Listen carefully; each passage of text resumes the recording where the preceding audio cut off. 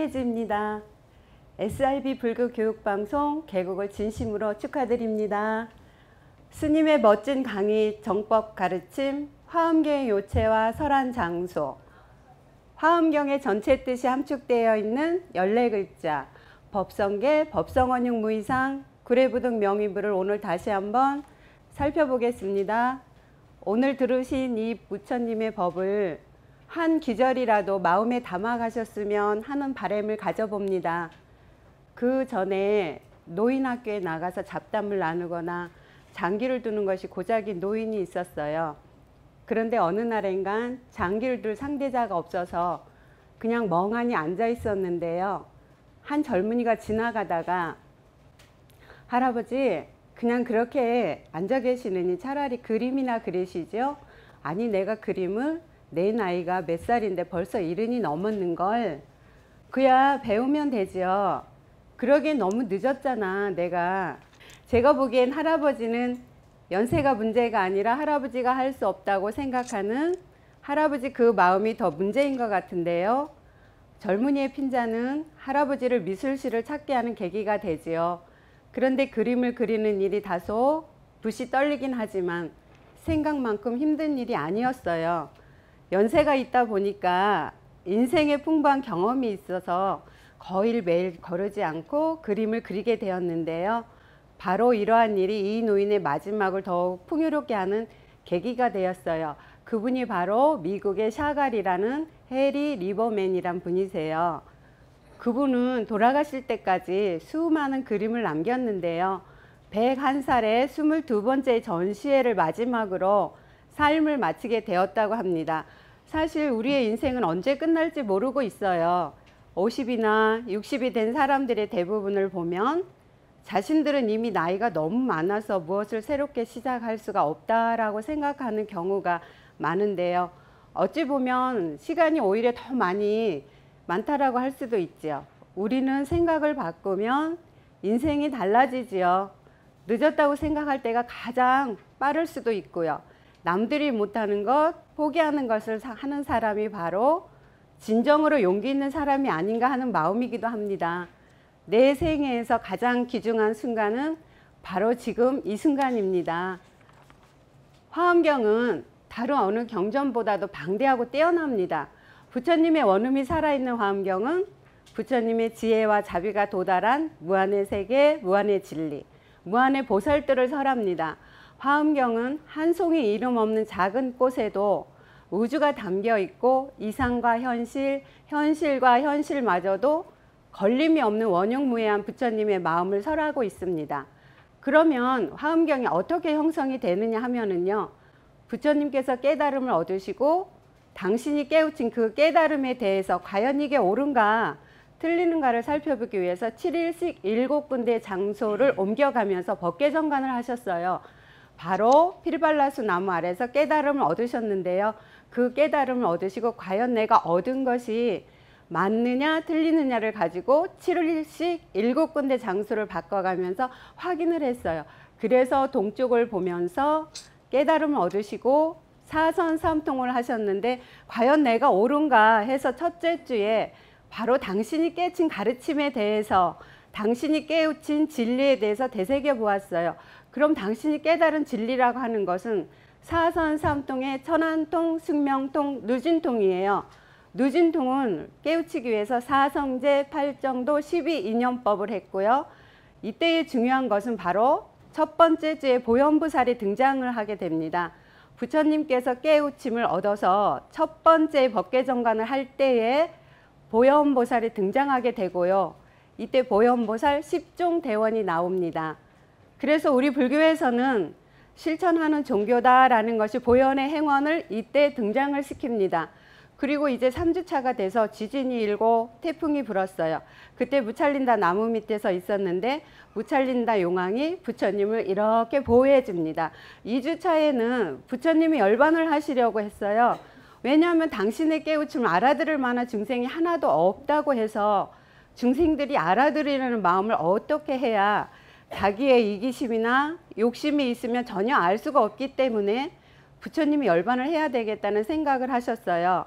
삼주차에 무찰린다 용왕이 부처님을 보호해 주면서 용왕이 부처님 당신이 깨우친 진리를 바로 이때 설을 한번 해보십시오 해가지고 3주 차에 부처님께서 설하신 내용이 화엄경입니다. 이것이 대방강물 화엄경이라고 하는데 화엄경이 바로 7처 9의 39품이에요.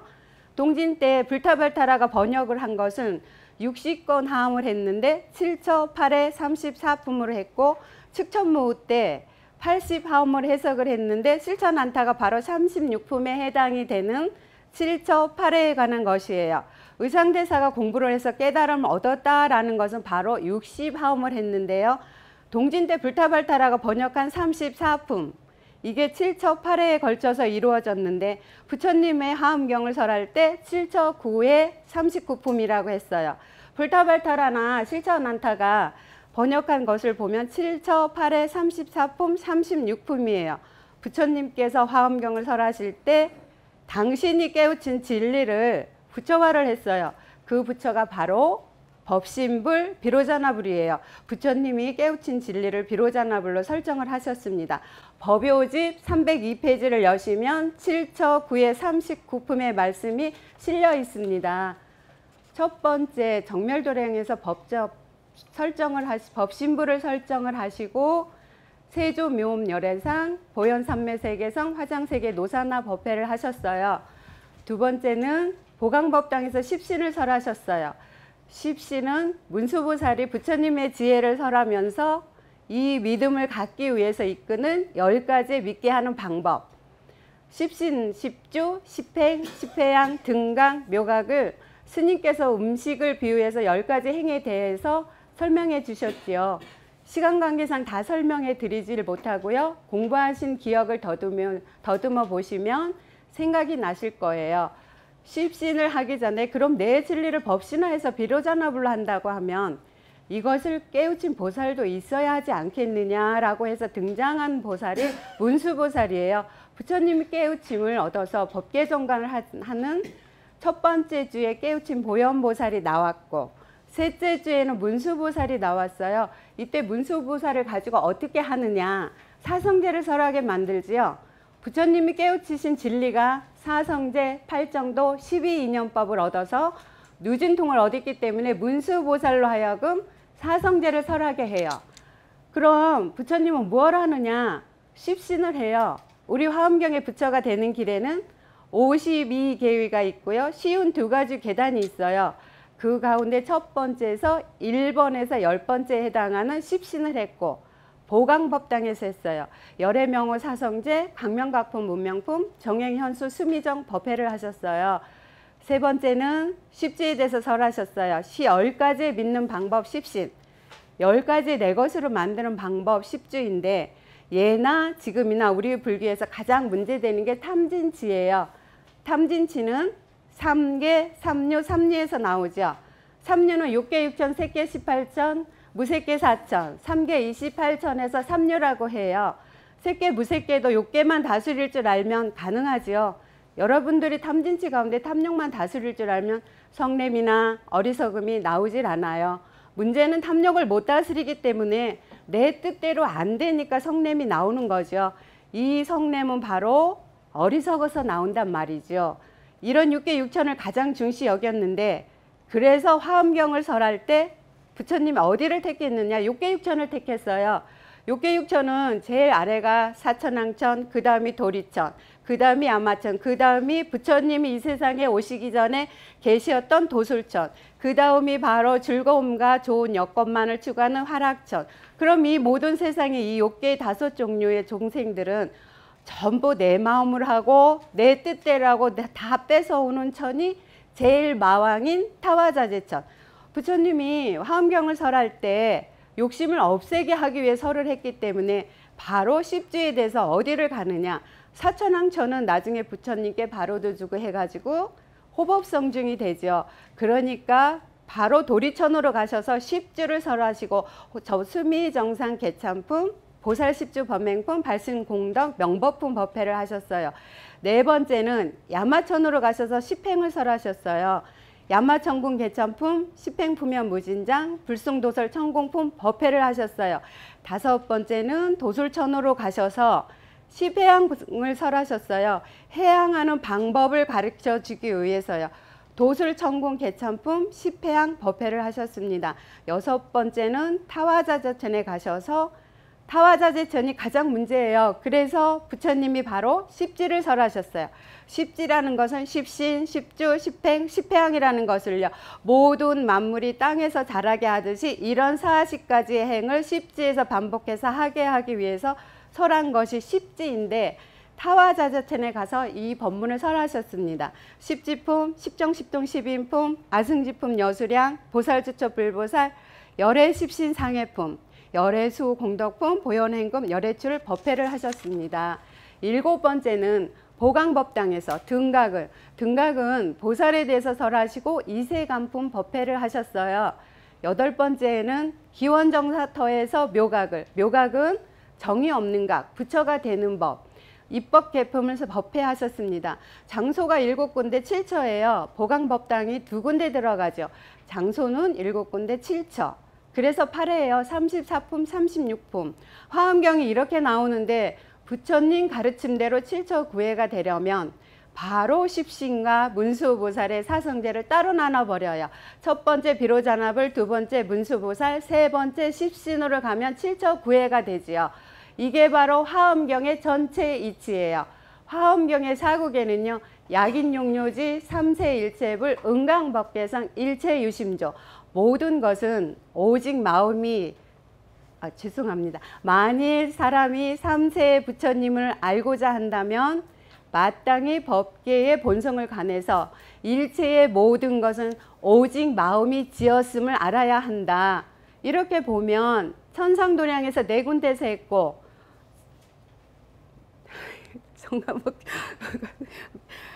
지상 도량에서 네 군데서 하게 되는 거예요. 그래서 바로 천상에서 도리천, 야마천, 도술천, 타화자재천 네 군데서 설하고 지상에서 네 군데서 하는데 장소는 보강법당 같은 데서 두 번 하게 되지요.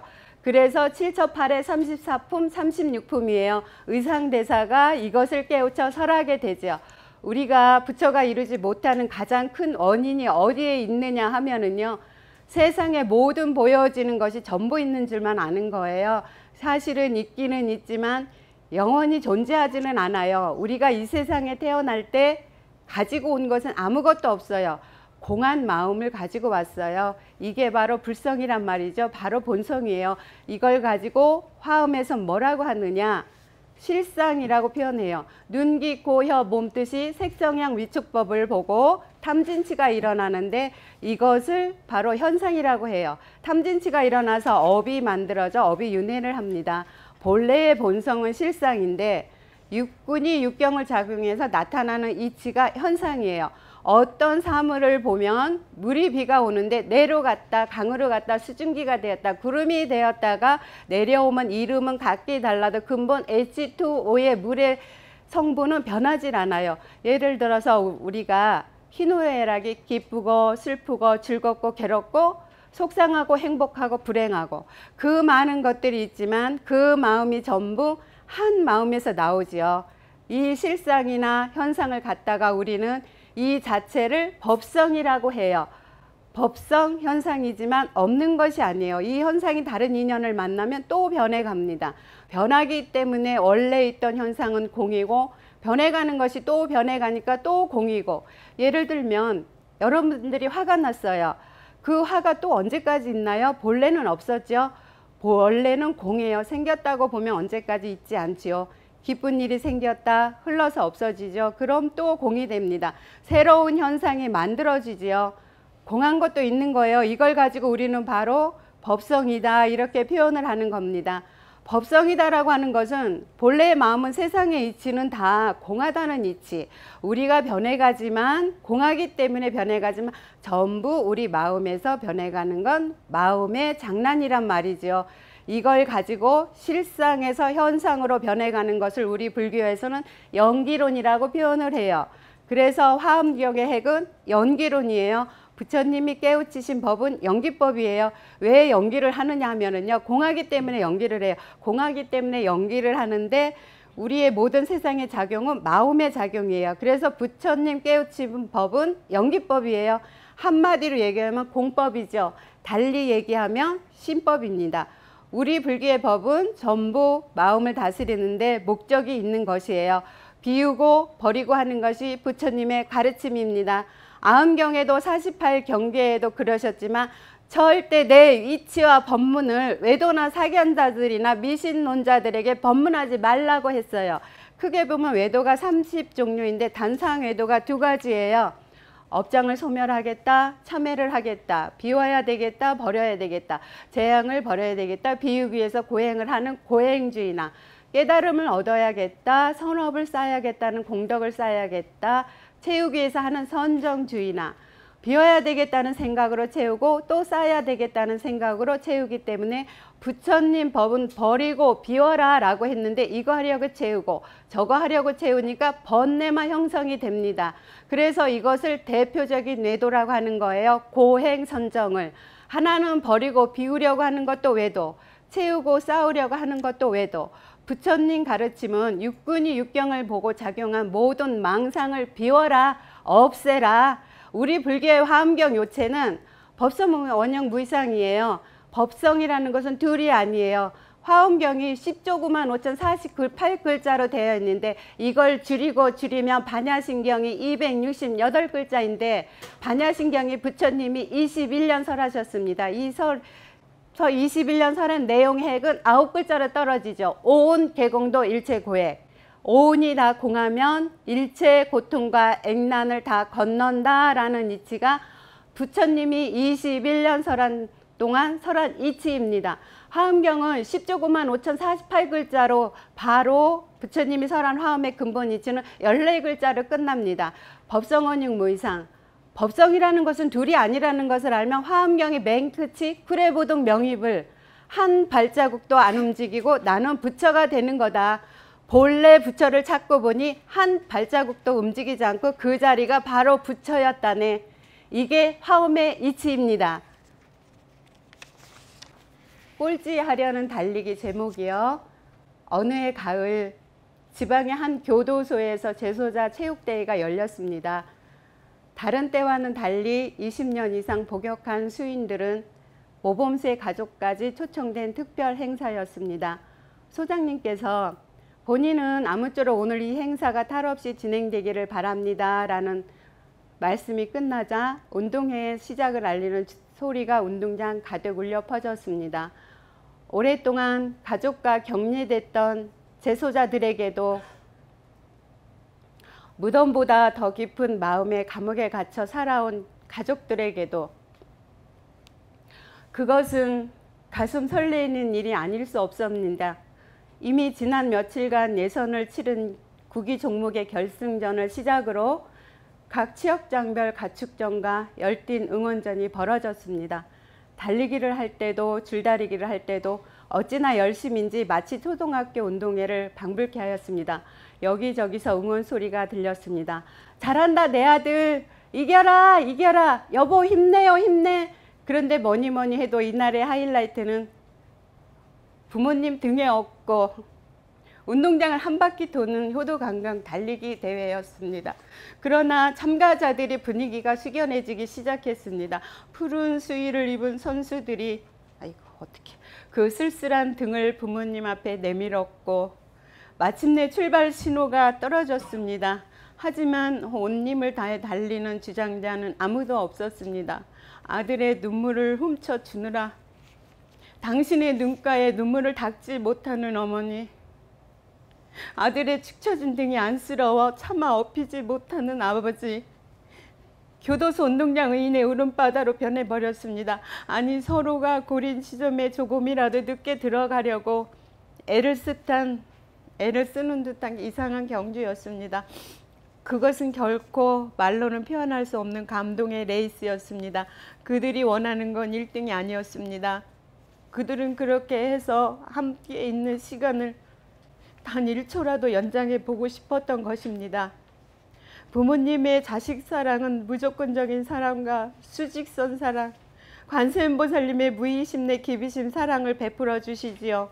자병당 서길봉 스님의 저서 미소가 머무르는 뚜락 중에서 어느 날 일요 법회 하시는 중에 스님께서 내 이빨이 몇 개나 빠졌어. 어느새 머리는 하얗게 백발이 되어버렸네. 하시면서 미소를 지으셨습니다. 병원 가는 시간도 아깝다고 안 가시고 밥 먹는 시간도 아까워하시면서 원고 집필만 하시지요. 스님께서는 40여 년을 부처님 진리의 정법 가르침 공부에 인생을 다 바치셨습니다. 부처님의 법의 맛은 한 맛인데 왜 이렇게도 시끄러운지 말도 많고 탈도 많고 마음을 아프게 하는 일들도 많지요.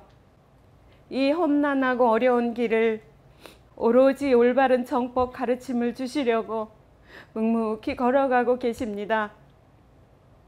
여러분들한테 꿈과 희망을 버리질 못한다고 하세요. 부처님 법을 가르치고 전하는 일이 얼마나 힘들었는지 모른다고 하시면서 환하게 웃으셨습니다. 대한민국 어디를 가도 손색 없이 부처님이 가르치신 그대로 우리들을 양성시켜 주실 거라고 하십니다. 여러분들 힘들고 어려워도 주저앉지 마시고 스승님께 배운 부처님 진리의 법을 전법하고 전도하시기 바랍니다. 다시 한번 SIB 불기교육방송 개국을 진심으로 축하드립니다. 지금은 비록 인터넷 방송으로 시작하지만 최고의 정법 불교 교육 방송으로 거듭날 것입니다. 여러분, 개와 보시의 삶은 행복의 삶을 부른다고 합니다. SIB 불교 교육 방송 개국을 앞두고 불자님들의 많은 성원과 후원을 부탁드립니다. 오늘 이렇게 뜻깊고 소중한 자리를 마련해 주신 큰 스님 자병당 서길봉 대종사님께 마음 깊이 감사 인사 올립니다. 오늘 이 자리 룸비니 동산 관음산 자비정사에 왕림해 주신 불자님들과 촬영해 주시느라고 수고해 주신 피신님께 감사 인사 올립니다. 고맙습니다.